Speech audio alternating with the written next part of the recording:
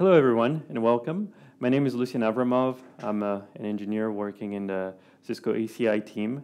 And the purpose of this brown bag today is for me to go over especially the group-based policy efforts we do in OpenStack and um, tell you also a little bit about our technology that we do with Cisco, which are related to all our OpenStack efforts. So to get started, um, this week when we look at what user wants to do around this, this forum and how they want to deploy, deploy networks, um, the end users typically want to deploy applications. And so here's an example of a three-tier application, client, database, and web. And that's what they want to go and deploy in their infrastructure. That's their end goal.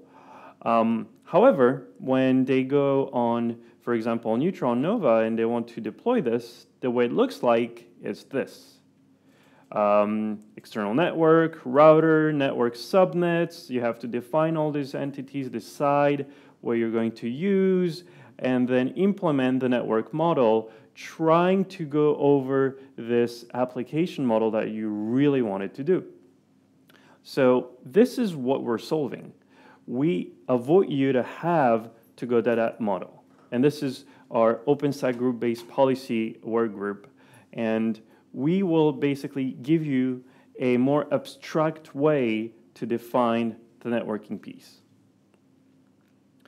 So this is our group-based policy model. In our group-based policy model, you will define a group, which would be endpoint. An endpoint could be a port, it could be a virtual port, it could be a host name, um, but it's from a network perspective, which are the end users, uh, virtual machine, physical machines that will participate in this specific group of application. And we will define in that group uh, for each specific group policies. And the policies could be layer 2, layer 3, VLANs, subnet, and um, we will say what we want to do with that group in terms of routing and switching. And Furthermore, we will do actions and we will say what type of traffic we allow, what direction from application 1 to application 2, or from application 2 vice versa, uh, bidirectional, unidirectional. And we can even go one step further and add service chaining. So with group-based policy, really this is what we do. We do this abstraction level to mimic really what the end intent is for uh, the deployment. Here is um, an overview of the architecture. Um, where we sit with Group Policy API is between Neutron uh, and Horizon Heat and the CLI of OpenStack. So we will fit in and talk to, to, um, to Neutron, but we're a higher level up, as you can see. And from there onwards, it's from Neutron that you will connect to your mapping driver where you have Cisco device, you use a Cisco driver, where you have other vendors, you use other vendors. But um, group policy is really a level of abstraction higher up that you can use for the vendor, vendor network that you choose to have. Um, and it could be a mixture of different vendors as well. So this is our group policy, um, group-based policy effort. Now, I'd like to tell you about the underlying Cisco technology that we provide to also build a foundation network uh, for the data center. And this is the Cisco ACI.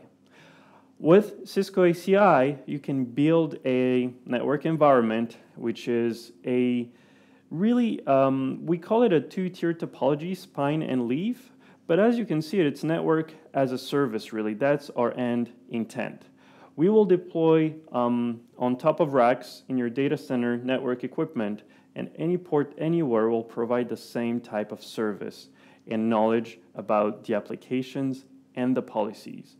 So besides providing you Ethernet switches that would be capable to run usual, usual um, OS, Cisco OS software, they could also run our application level software or ACI software which will provide a different level of abstraction.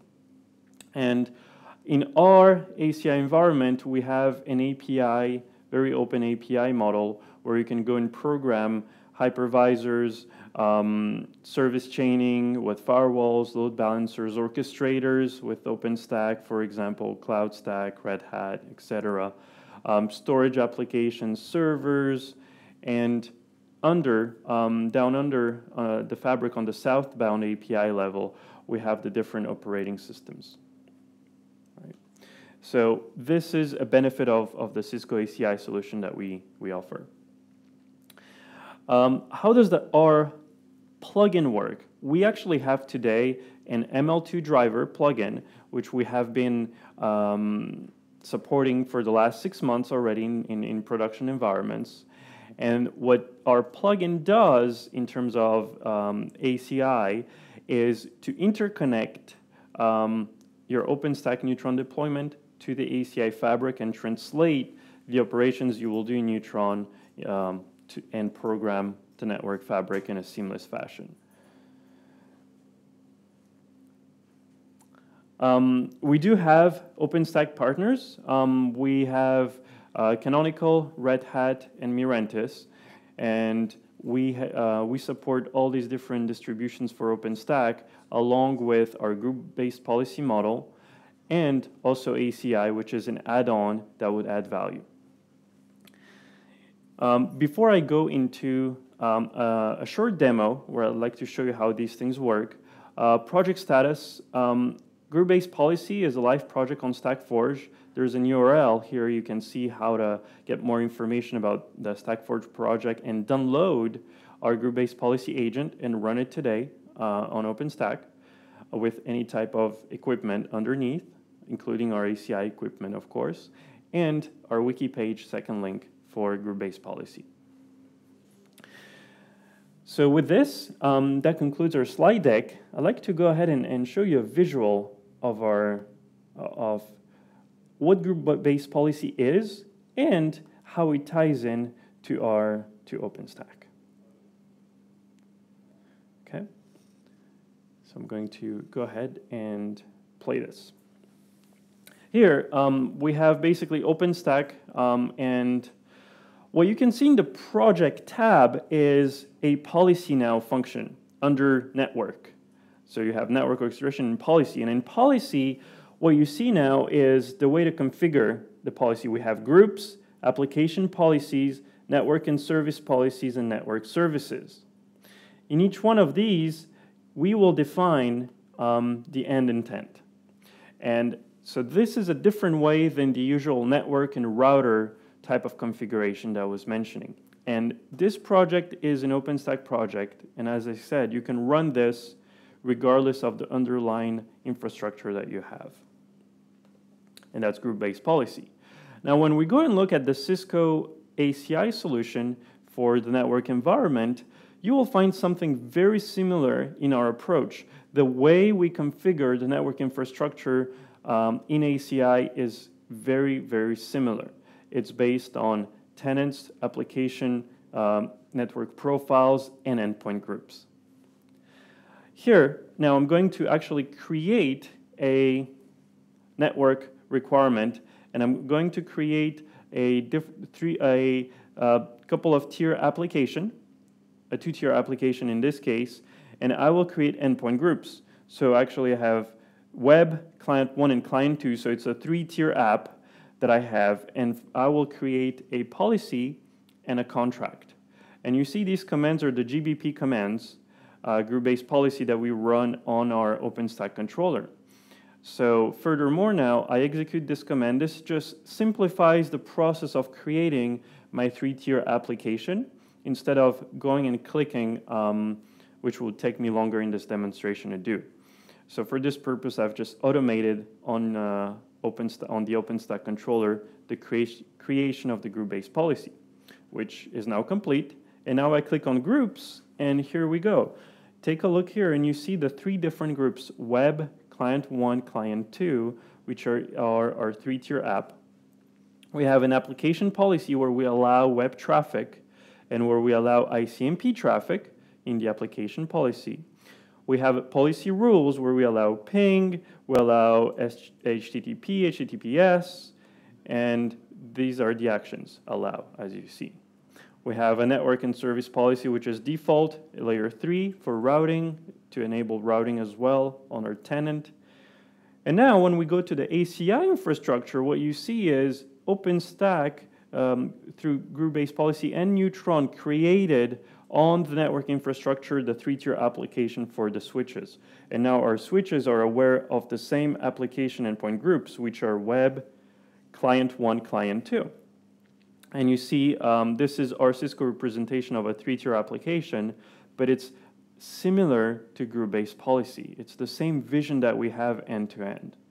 And this allows you to uh, create an abstraction level on OpenStack and you have a network which follows the same abstraction model.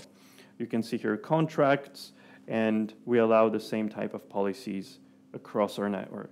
And as you can see here, there was no need to worry about a selection of a VLAN, um, where to configure it, what router port to do, um, what to do in terms of security for IP tables for the hosts. All this is enforced within the network on the switches that run in the Cisco fabric, and this is aligned with the group-based policy model. So to conclude and wrap up this session, what I, what I hope you take away from it is, number one, we have a project, group-based policy in OpenStack, where we bring a level of abstraction for Neutron to allow end users to create the application intent instead of having to create networks, routers, subnets, VLANs, and such. Number two, we are absolutely aligned with the Cisco ACI vision, which was the premise foundation of the policy-driven data center that we came up about two years ago, and now we're taking onwards to OpenStack. Number three, group-based policy is today available. You can go ahead and download it and uh, experience group-based policy with your underlying network infrastructure, which hopefully would be Cisco ACI, but could be Cisco Nexus, or could be any type of Ethernet switch that would plug in and have at least an ML2 driver on OpenStack. And thank you for watching.